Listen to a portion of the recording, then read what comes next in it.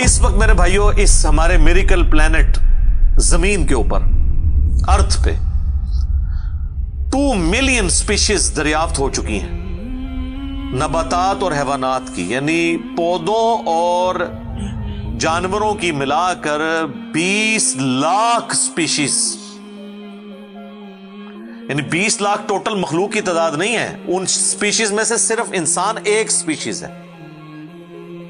और इंसान ही सात अरब के करीब तो है दुनिया में। इस तरह गिनना शुरू करते हैं इंसान, घोड़ा, कौवा, चील, मुर्गी, खच्चर, यूँ आप गिनते चले जाएँ, गिनते चले जाएँ, इंसान के अलावा जितने भी इस रुए अर्ज़ पे आबाद हैं चीज़ें, चाहे वो जानवरों में से हो, चाहे वो नबातात पौधों में से हो तो इनकी स्पीशीज 20 लाख हैं। और ये अभी वो हैं जो दरियाफ्त हुई हैं। और साइंटिस्ट हमें बताते हैं कि एक स्क्वायर इंच भी इस ज़मीन का ऐसा नहीं जहाँ पे कोई लिविंग थिंग ना हो। एक स्क्वायर इंच यानी इंच बाय इंच का जो डब्बा है ना, इतनी जगह भी ऐसी नहीं है जो खाली हो किसी ज़िंदा मखलूक से। आप ये कहेंगे हमें हमें कुछ नहीं नज़र आ रहा, जनाब, ना नज़र आने वाली मखलूक है। जो खुर्दबीन से आपको नज़र आ जाती है। इवन खुर्दबीन के ज़रिए अगर हम अपने जिसम पे देखें ना तो ये बैक्टीरिया ही बैक्टीरिया नज़र आएँगे जो हमारे जिसम से खुराक हासिल कर रहे हैं। लेकिन अभी देखने में तो नहीं वो नज़र आते, बहुत छोटे हैं। एक स्क्वेयर इंच भी ऐसा नहीं है, जहाँ कोई लिविंग थिंग ना हो। तो स्पीशीज की तादाद फिर एक एक स्पीशीज की किस लेवल तक होगी? सिर्फ़ इंसेक्ट्स कीड़े मकोड़े, ज़मीन पे इतने हैं कि ज़मीन पे बसने वाले हर इंसान को अगर 20 करोड़ कीड़े दे दिए जाएँ यहाँ 100 प्लस लोग बैठे हुए हैं। आप में से हर एक को मैं कहूँ कि 20 करोड़ आपके 20 यानी 200 मिलियन। 200 मिलियन हर बंदे को मैं कीड़े अलॉट करना शुरू करूँ और सात अरब इंसानों को अलॉट कर दूँ। तो इससे ज़्यादा इंसेक्ट्स हैं सिर्फ़ रूएर्स के ऊपर। ये कैलकुलेटर फेल हो जाएगा। आप जरा 200 मिलियन को मल्टीप्लाई करें 7 बिलियन के साथ। एक बिलियन जो है ना, वो इतना बड़ा फिगर है कि अगर कोई शख्स 24 घंटे गिनती गिनता रहे 25 से 30 साल चाहिए एक अरब गिनती गिनने के लिए। ज़ाहिर है, दिन रात में छियासी हज़ार चार सौ सेकेंड है। हर सेकंड में भी एक दफ़ा गिने, तब भी आप एक लाख तो पूरा नहीं करेंगे। और बाकी काम भी बीच में करने हैं। वो सब कुछ भी छोड़ दें, तब भी आपको इतना टाइम चाहिए। रोज़ाना एक लाख दफ़ा भी गिनती आप गिन लें। तो कई साल चाहिए एक अरब पूरा करने के लिए। तो ये सात अरब इंसान और हर इंसान को 20 करोड़ 200 मिलियन कीड़े आप जरा ये कैलकुलेट करें। और ये तो इनकी तादाद है। अभी तो हम ये डिस्कस ही नहीं कर रहे मेरे भाई कि एक एक स्पीशीज के अंदर अल्लाह तला ने जो क्वालिटीज रखी हुई है वो क्या है। मैं अक्सर मिसाल देता हूँ, ड्रैगन फ्लाई की। इंसान को तो छोड़ दें बहुत कम्प्लेक्स है। ये जो हेलीकॉप्टर हम जिसे कहते हैं, एक छोटा सा आप समझ लें कीड़ा है हवा में उड़ने वाला। उसके एक ढेले के अंदर पच्चीस हज़ार आँखें हैं। और आप देख लें, वो जिस अंडे से निकलता है ना, वो बाल पॉइंट के नुक्ते जितना अंडा है। ज़मीन व आसमान की मखलूकत मिलके कोई अंडा ऐसा नहीं बना सकती जिसमें से ड्रैगन फ्लाई निकल आए। मुर्गियाँ जो अंडे देती हैं, कबूतर जो अंडे देते हैं, उनमें से उनके चूजे निकलना, वो तो अनइमेजिनेबल है। वो तो कुछ सोच नहीं सकता। ज़मीन व आसमान की सारी मखलूकत मिल के एक बीज ऐसा नहीं बना सकती, जिसको ज़मीन में बोया जाए और वो छह अरब गुना बड़ा दरख्त बन जाए। तो जो काम करने से नहीं हो सकता, वो खुद ब खुद कैसे हो सकता है? और इस क्रिएशन का क्लाइमैक्स इंसान है। इंसान पे ही बात की जाए ना तो एक घंटा चाहिए। इंसान को जो अल्लाह ने क्वालिटीज दी हैं, जिसका उसे खुद भी नहीं पता। अच्छा मुझे बताएँ, जिन क्वालिटीज का हमें खुद ही नहीं पता कि है हमारे अंदर तो कितना कोई बेवकूफ़ होगा कि वो कहे कि ये क्वालिटीज मैंने खुद अपने अंदर रख ली हैं। या मेरे माँ बाप ने रखी है। हमारे तो माँ बाप को भी नहीं पता उन चीज़ों का। आज जो हमें साइंस बता रही है, एक लाख दफ़ा रोज़ाना हमारा दिल धड़कता है। एक लाख दफ़ा, बगैर किसी पंप के। बगैर किसी एक्सटर्नल फ्यूल के। एक लाख दफ़ा, एक लाख दफ़ा। अच्छा और एक लाख दफ़ा धड़कने के बाद वो दस हज़ार लीटर खून पंप करता है हमारी नसों में, हर बंदे के। एक इंसान के जिसम में जो नसों की लेंथ है ना, ये आपकी जो नर्व्स हैं, खून की नालियाँ, इसकी लेंथ इतनी ज़्यादा है कि एक बंदे की अगर सिर्फ़ नसें जोड़ी जाएँ तो ज़मीन के ढाई चक्कर लग सकते हैं। चालीस हज़ार किलोमीटर ज़मीन का सरकमफ्रेंस है। एक लाख किलोमीटर ढाई चक्कर ज़मीन के लग सकते हैं। उन सारी नसों में खून का पहुँचना। और वो खून अपने अंदर ऑक्सीजन लेकर जाए। एक एक खुलिए तक पहुँचना और खुलिए की तादाद सैकड़ों में, हज़ारों में, लाखों में, करोड़ों में, अरबों में नहीं है। वन हंड्रेड ट्रिलियन सेल्स हर इंसान के अंदर मौजूद है। एक ट्रिलियन हज़ार अरब के बराबर है थाउज़ेंड बिलियन के बराबर। और एक अरब मैंने आपको बता दिया कितना बड़ा है। तो हज़ार, एक सौ हज़ार अरब हर बंदे के जिसम में खुली हैं। तो साइंटिस्ट कहते हैं तो आप साफ़ कर ही नहीं सकते। आपको बस मुख्तसर बता देते हैं कि इंग्लैंड जैसे तीस मुल्क हों और उन तीस मुल्कों में सिर्फ़ दरख्त ही उगे हुए हों। और उन दरख्तों के जितने पत्ते होंगे ना, उतने एक जिसम में खुलिए। और खुलिए ये ना समझे कि वो ऐसी कोई चीज़ है।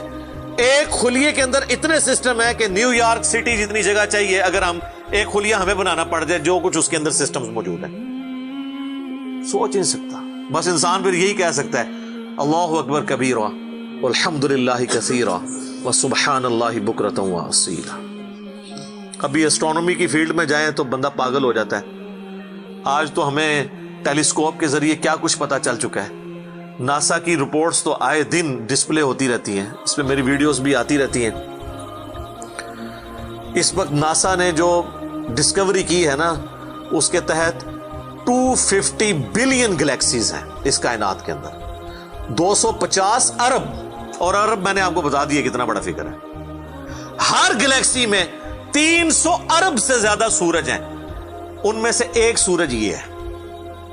इस तरह के 300 अरब सूरज सिर्फ़ हमारी गैलेक्सी मिल्की वे में है और ये एक गैलेक्सी है और इस तरह की 250 अरब गैलेक्सीज और हैं। और ये साइंटिस्ट कहते हैं कि इतना बड़ा फिगर है कि दुनिया में जितने समुंदर हैं, उनके किनारे पर रेत के जर्रों की तादाद है ना, उससे ज़्यादा स्टार्स और प्लैनेट्स इस कायनात के अंदर है। तो कैलकुलेट ही नहीं कर सकता। और ये वो चीज़ है जो उन्होंने कैलकुलेट किया लोग कहते हैं, उन्होंने गिने कैसे होंगे? वो एक थोड़ा सा एरिया कंसिडर करते हैं, उसके बाद ओवरऑल लेके उसे मल्टीप्लाई कर देते हैं। यानी अगर मैं आपको बता दूँ कि बास्केट का साइज़ इतना है, इसमें इतने अंडे आते हैं तो ये हमारा हाल जो है, इसमें कितने अंडे आएँगे? तो आप कहेंगे, जी, इस हाल का साइज़ बताएँ, उसे मल्टीप्लाई करके कैलकुलेट कर लेते हैं वो। ये नहीं होता कि वो एक एक करके गिनते हैं, वरना तो उनको भी लाखों साल चाहिए गिनने के लिए। ओवरऑल कैलकुलेशन वो कर लेते हैं।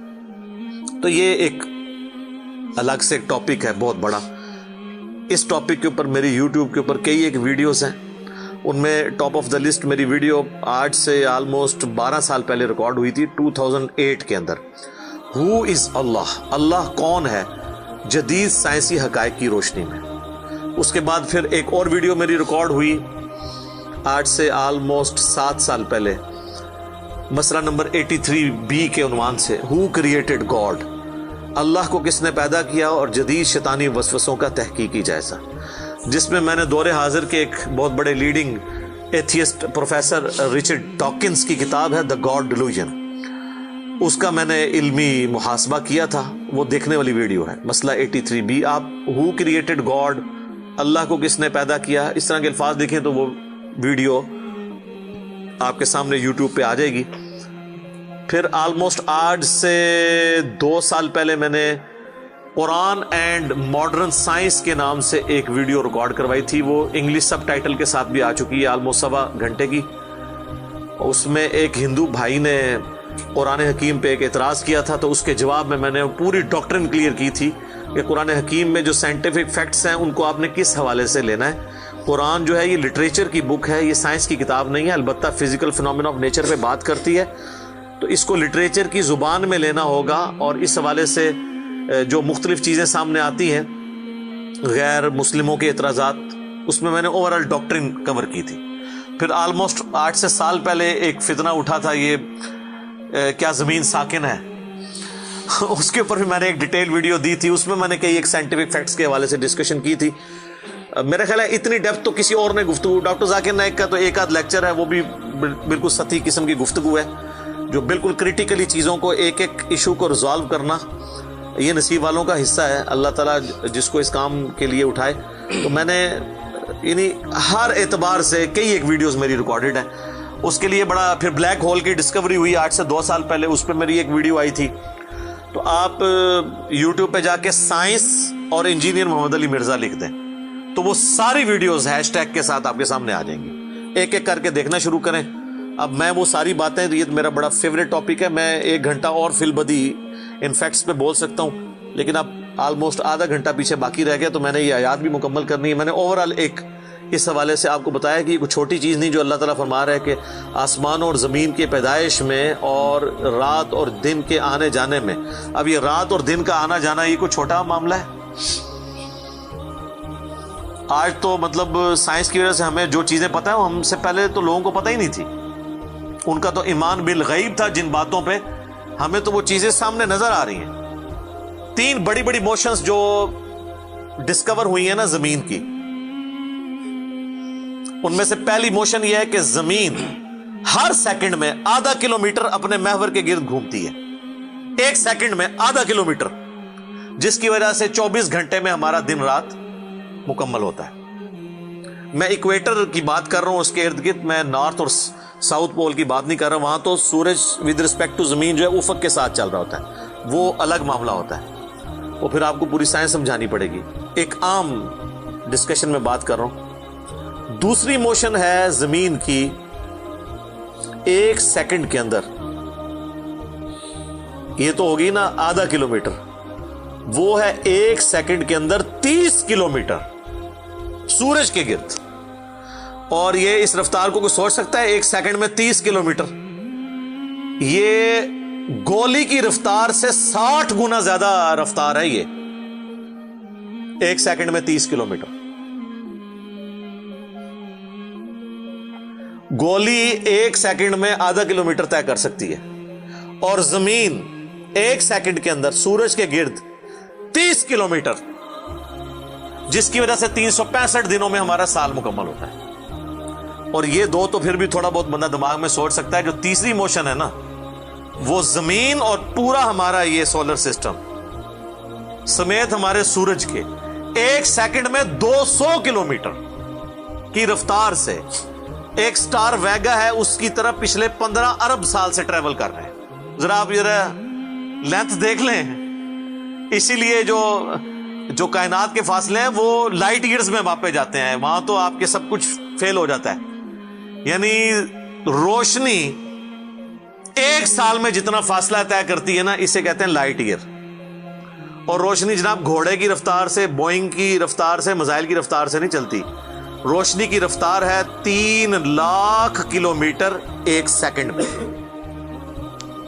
एक सेकंड में रोशनी ज़मीन के सात चक्कर काट सकती है। तीन लाख किलोमीटर या एक लाख छियासी हज़ार मील। क्योंकि ज़मीन का सरकमफ्रेंस चालीस हज़ार किलोमीटर है। तो सात चक्कर काटे ज़मीन के एक सेकंड में रोशनी। एक सेकंड में सात चक्कर ज़मीन पूरी के काट ले। और ये साल तक ट्रेवल करती रहे तो वो एक लाइट ईयर है। तो एक लाइट ईयर जो है वो वो कैलकुलेशन करते हुए कैलकुलेटर फेल हो जाता है। ये तो अल्लाह ही अल्लाह है। आप मुझे बताएँ, जिस अल्लाह का तारुफ ये है तो बाबे किधर आ जाए बीच में? बाबों को तो ये जब हम बातें बताएँ ना तो वो हमारी वीडियोस देख के बयान भी नहीं कर सकते। तो कहते हैं, जी, वो बाबे कहते हैं मैं गुस्सा है मैं ज़मीन, आसमान ज़मीन ते सुट दिया। ना तेन आसमान के साइज़ का पता, ना ज़मीन का भी कहानियाँ तू बना फिर। पता ही किसी चीज़ का नहीं। तो आज जिस तरह खुदा उभरा है, वो अलामा वहीदुद्दीन खान साहब है इंडिया के। 95 फाइव ईयर्स उनकी एज है ऑलमोस्ट उन्होंने किताब लिखी है द गॉड अराइजेस खुदा उभरता है। खुदा जिस तरह उभरा है ना जी इस लेटेस्ट uh, वर्ल्ड के अंदर साइंटिफिक फिनोमेना की डिस्कवरी के बाद अभी तो आप स्ट्रक्चर ऑफ़ जीन के ऊपर डिस्कशन करना शुरू करें ये जीन्स क्या बला हैं। और इंसान और नबातात और हैवानात की रिप्रोडक्शन का क्या सिलसिला है? ये तो अनबिलीवेबल डाटा है। कोई इंसान सोच भी नहीं सकता। और ये इतना मैनेजेबल है कि साइंटिस्ट हमें कहते हैं कि ये सारी की सारी चीज़ें इतनी फाइन ट्यून है कि अगर एक बाल पॉइंट अपनी नोक पे खड़ा किया जाए तो खड़े नहीं हो सकता। कितना बैलेंस आप मर्ज़ी कर लें। एक अरब साल तक अगर वो अपनी नोक पे खड़ा रहे इससे ज़्यादा बैलेंस इस कायनात के अंदर है। और वो जरा सा भी डिस्टर्ब हो जाए तो ये कायनात तबाह हो जाए। ये तो बहुत कुछ इसमें बयान किया जा सकता है, लेकिन मैं उसको स्किप करता हूँ। बाकी अल्लाह से हम उम्मीद करते हैं कि ये अल्लाह करे। पिछला कुरान तो हमारा 344 लेक्चर्स में मुकम्मल हुआ था, नौ सालों के अंदर। तो इस दफ़ा तो लग रहा है शायद ये कोई 400 लेक्चर्स बन जाए या साढ़े चार सौ। लेकिन कोशिश मैं ये कर रहा हूँ कि इन डेप्थ गुफ्तु की जाए कोई तशनगी किसी की बाकी ना रहे कि इस आयत में ये एक इंपॉर्टेंट चीज़ थी, जो इससे रिलेटेड थी, वो ब्रीफ करना ज़रूरी थी। बाकी तो कुरान की तफसीर पिछले 1400 साल में सैकड़ों लिखी गई। हमारे बाद भी लोग बयान करेंगे, ये किताब कभी पुरानी नहीं होगी। हर आने वाला दौर कुरान हकीम की नई नई चीज़ें लोगों के सामने आश्कार कर रहे हैं। ये तो एक ना ख़त्म होने वाला मामला है, ये अल्लाह की किताब है। कोई इंसान की लिखी हुई किताब नहीं है। और ये याद रखिएगा, इल्हामी किताबें कभी पुरानी नहीं होती, क्योंकि ये ह्यूमन इंस्टिक्ट से डील करती हैं। बाकी आप कोई भी किताबें देखें, कुछ अरसे बाद नई थ्योरी आ जाएगी, नई डिस्कवरीज आ जाएँगी, वो चीज़ें नई नई जो है वो इन्वेंशन आ जाती हैं, पुरानी एब्सोलीट हो जाती हैं। आप देख लें, हमने तो अपनी ज़िंदगी में कई चीज़ें एब्सोलीट होते देखी हैं। ये जो लैंडलाइन फ़ोन है, पूरे मोहल्ले में एक फ़ोन होता था। आज आपको पूरे शहर में भी एक फ़ोन नहीं नज़र आएगा, मोबाइल फ़ोन के बाद। लेकिन इल्हामी किताबें पुरानी इसलिए नहीं होती कि आज से दस हज़ार साल पहले के इंसान की भी ह्यूमन इंस्टिंक्ट वही थी जो आज है और जो क्या तक है, जो अल्लाह ने हमारी जिबिलत में रखी है। बी बच्चे माँ बाप ये मुआशरा, इसके साथ किस तरह डील करना है? और इस सिस्टम में रहते हुए अल्लाह को कैसे राज़ी करना है, ये इश्यूज़ हमेशा इसी तरीके से रहेंगे, इसलिए इल्हामी किताबें कभी पुरानी नहीं होती। और देखें, आज भी आप किताब पढ़ते हैं तो लगता है आज की बात हो रही है।